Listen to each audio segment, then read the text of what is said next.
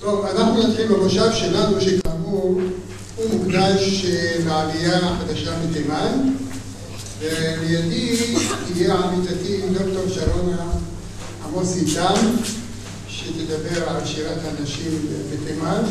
אני מזמין אותך, שרונה, בבקשה לעלות לבמה. בבקשה. יש עוד מקום, מתכבדת ואני, בלי שהיות יתרות רוצה לומר לכם שני דברים.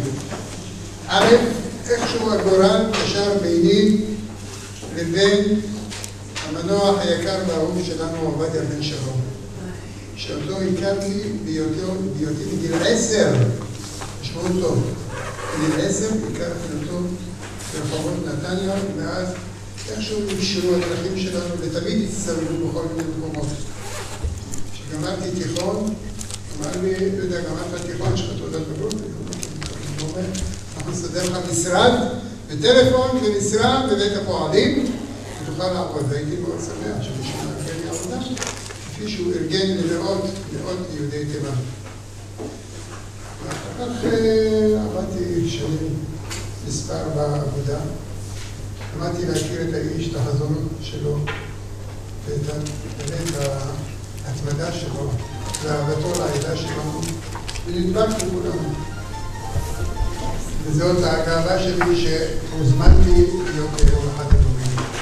דבר שני, אני רוצה לציין שבמחזור האחרון של הדוקטורים בבר אילן סיימו שלושה בחורים שאני לפחות מכיר אותם, אולי היו עוד תימנים, אבל שלושה בחורים תימנים סיימו את הדוקטורט, וחשוב לדעת שאנחנו בעידן של פריחה של יהדות תימן. ואחד מהם הוא דוקטור אדיר דהר הלוי, הבן של יוסף דהר. השני נקרא דוקטור דרור חובר. והשלישי הוא דוקטור דורי, זכריה דורי, כולם מכירים אותו. שלושה דוקטורים חדשים, הם למעשה המחזור האחרון, ואני רוצה לברך אותם מפה, כי זאת גאוותנו. עכשיו לגבי הנושא שלנו. הנושא שלנו הוא התבסס בעיקר על סרט שאנחנו מיד נקריא אותו ואני אתן לכם רק ראשי פרקים של הנושא עצמו. דבר ראשון, אתם יודעים שהעלייה שלנו הגיעה בגל גדול בעיקר בשנות ה-49, 1949, 1950. למשל, המשפחה שלי היא בגל הראשון של ה-49, סוף ה-49 ואחר כך היא נמשכה אחרי הגל הגדול היא נמשכה טיפין טיפין עד שנת 1962. בשנת 1962 נסגרו שערי תימן ושארית הפליטה לא יכלה עוד לעלות לארץ וככה נשארו משפחות קרועות. חלק נשארו בריידה, בחידן שם שם בצפון וחלק הגיעו לארץ פה לקריית עקרון, באר שבע, ככה נשארו משפחות קרועות. חלק מהקרע הזה שבין המשפחות הזה יתבטא בסרט שאנחנו נראה. אנחנו נראה בכי, דמעות ומפגשים מאוד מאוד מרגשים של בני משפחה, אחים, אחיות, בנים וכולי, שלא ראו זה את זה 27 שנה. כן? עכשיו, המבצע שאפשר את עליית שארית הפליטה נקרא בשם מבצע אסתר, על שם אמו של פרופסור חיים טוויל. והסיפור הזה הוא למעשה סיפור של חיים טוויל והאגודה או הארגון שהקימו בניו יורק כדי להפוך שתדלנים של עליית יהודי תימן. כי המאמצים שהושקעו פה בארץ על ידי אנשים שונים לא תרמו לאומה, לא הזיזו כלום, לא פתחו שום שער וחומת הברזל נותרה כפי שהיא. בין האנשים שהתאמצו להקים כאן ארגון, אני אזכיר שלושה. שתדעו לכם שמדובר באנשים נכבדים, אנשים שלושה גלויים. הרב ערוסי, תת-אלוף אביגדור קהלני, והשלישי זה אלוף דוד מימון. שלושתם היו בעד כזה למען הצלת יהודי תימן, אבל עם כל ההשתתפות שלהם לא היו כלום. וכאן בארץ פעל במרץ אדם בשם דוד שוקר. שוקר היה פה והוא עשה מאמצים גדולים כדי להניע את הממשלה, את השרים את מי שאתם רוצים, את שלדי, כלום. לא עזר כלום לדוד שוקר, שהייתה לו מעורבות משפחתית בנושא הזה, אז הציעו לו לנסוע לארצות הברית. שם הוא הגיע בעזרתו של אדם בשם שלמה ג'רפי, זה היה יהודי שלו. שלמה ג'רפי היה יהודי תימני, תושב ניו יורק, והוא התחיל להנחות את שוקר שלא ידע אנגלית בכלל, וככה הם הגיעו לאדם, הם חיפשו אדם פיגורה, שיהיה לו תואר, תואר אקדמי, שיהיה דובר אנגלית, ורצוי שיהיה גם תימני. וככה הם הגיעו לאדם שהיו לו שלושת התארים האלה. תימני, דוקטור ודובר אנגלית, זה פרופסור חיים טוויל. ואז הם הקימו אגודה, ארגון, בשם הארגון הבינלאומי לתחייתם של יהודי תימן, והתחילו לפעול בקרב השרים ואנשי הקונגרס האמריקאים, ולאט לאט, אני מספר לכם את הסיפור בצורה מאוד מאוד שטחית, כי אני רוצה להקדיש את עיקר הזמן לסרט. התחילו להתחיל שרים, אנחנו נראה אותם בסרט, חברי קונגרס, והגיעו גם לשר החוץ התימני אל-אריאני, אנחנו נראה אותו בסרט, התיידדו איתו, יצרו קשרים טובים איתו, ביקרו בתימן, ולאט לאט טבעו את כל הקשרים כדי לאפשר איכשהו פתיחת השערים בפני שארית הפליטה בצפון תימן. יש כאן לפניי ספר שנכתב על המבצע הזה שנקרא מבצע אסתר. והספר הזה נקרא על כנפי נשרים, והוא מתעד את כל הפעילות שנעשתה בעיקר בארצות הברית כדי להניע את הממשלה האמריקאית להשפיע על ממשלת תימן, לפתוח את השערים.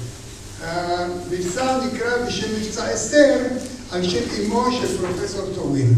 אז למעשה טוויל, לכן טוויל היה צריך לעמוד במקומי. מכיוון שהוא נמצא בארגנטינה והוא נושא שם הרצאות, הוא לא יכול היה להתפנות, אמרתי לו שאני אמלא את מקומו היום, ותקוותי שזה יהיה בהצלחה עד כמה שאפשר לא מבוטלת. בסיפור הזה יש קשר של האגודה, כפי שציין ציין דוקטור יגאל בן שלום. האגודה הייתה מההתחלה מעורבת בכל הפעילות הזאת של העלאת שארית הפליטה.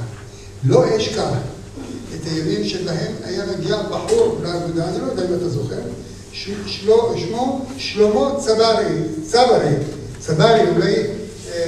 שלום, אתה זוכר? שלום. שלום, שלום, נכון. שלום צברי. אתה זוכר את זה? היה מגיע, תעזרו לי, אני רוצה מישהו שינסח לי את המכתב. לאן אני צריך לשלוח מכתבים? אבא שלי ינמק שם, הוא עוד ימות בתימן. כן? אז היינו עוזרים לו כמיטב יכולתנו, כמובן בניצוחו של אביך המנוח, ובסופו של דבר שלום צבריה חייב תודה גם לאגודה לטיפוח באמת. והאיש הראשון מתוך העלייה הזאת שהגיע לארץ, מי היה האיש הראשון? אתם זוכרים את הזקן שהגיע?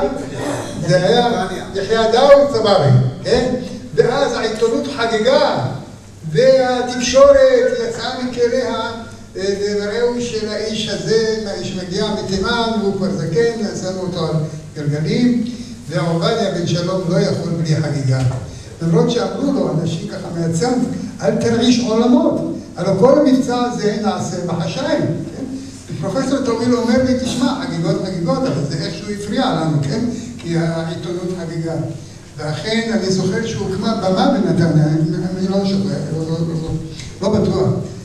עובדיה הקים במה, ואותו יחיא דאוד צברי התכתב באמת בכבוד מלכים, צילמו אותו מכל הצדדים, ואת יחיא דאוד לא נדמה לי, אולי אתם תראו אותו בסרט.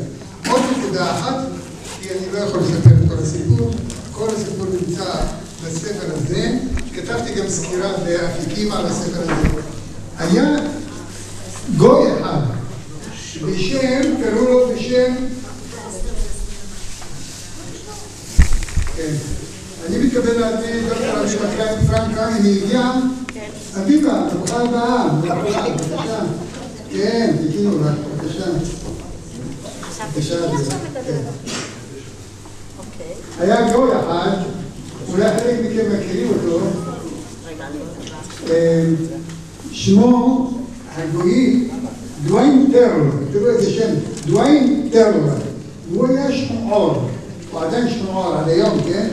בחור גבוה, כזה בא מאחת השכונות בניו יורק, והוא החליט שהוא רוצה להתייהד, אבל לא סתם להתייהד, אתה זוכר, הוא הגיע גם לעמידה, הוא רוצה להתייהד על מנת להיות יהודי תימני, דווקא יהודי תימני. אז הוא גידל פאות והלך ללמוד את המנהגים, מנהגי התפילה, מנהגי הכתיבה. יום אחד הוא הגיע לאגודה, עוד כשעבדתי באותה תקופה, הוא אומר לי, יהודה, אני כתבתי מגילת אסתר, אתה מוכן לראות אם היא כתובה נכון, אם היא כתובה יפה? מאוד שמחתי לראות אותו, לעודד אותו. הוא הסתבך מאוד בגלל אהבתו ליהודי תימן, מכיוון שהוא הגיע לתימן והתחיל להתעניין בגורלם של היהודים, והגיע גם לקבר שבזי, עמד עם סידור, אותו דברים, ממש עם היעלם, עם הפאות שלו, והתחיל להתפלל על הקבר, אז המוחברת התימנים תפסו אותו, הכניסו אותו לבית סוהר, והוא סבל כמה חודשים קשים מאוד של מילואים בבית סוהר, עד שבסוף הוא שחרר. בקיצור, הסיפור הזה הוא סיפור מופלא, ואין לי הזמן, יקיריי, לשטוח אותו בפניכם. חלק מהדברים ידועים לכם מהתקשורת, מן הניסיון האישי של כל אחד ואחד. ואני יכול רק לומר שאנחנו עומדים לראות סרט.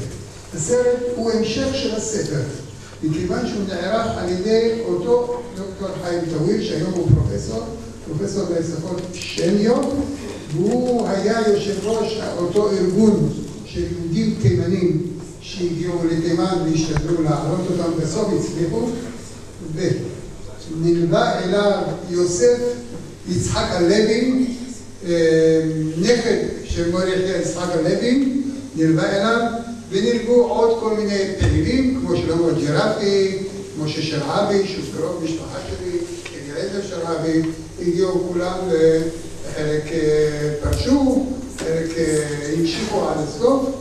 ובסופו של דבר הזכות הגדולה הייתה של פרופסור טוויל, של יוסף הלוי, להביא את יחיא דוד צברי כסנונית ראשונה לארץ. יש כל מיני אנקדוטות בקשר לדברים האלה. למשל, הם הגיעו לקבר שבזי, עוד בטרם קברו את הקבר. היום הקבר קבור. אז הם שאבו מים קדושים מהמעיין. לקחו את הג'ריקן, טסו במטוס ושפכו את הג'ריקן על המסוע של המזוודות, כן? יש כל מיני. בכל אופן, הסרט שלפניכם מחולק לשני חלקים. החלק הראשון הוא סקירה על יהודי תימן, על הכיסופים שלהם בארץ ישראל, והחלק השני זה לתעד את הפעילות של היהודים האלה, פרופסור טוויל וחבורתו, בקרב אנשי קונגרס, שרים, ואפילו קרטר, אתם תראו אותו בסרט הזה, כדי להעלות את שארית הפליטה. יש רגעים מרגשים, אני מקווה שתענו מהסרט. תודה על ההקשבה, המשך יבוא בעתיד בעזרת השם. בבקשה. תודה לעדיאל על המאמצים, ובבקשה.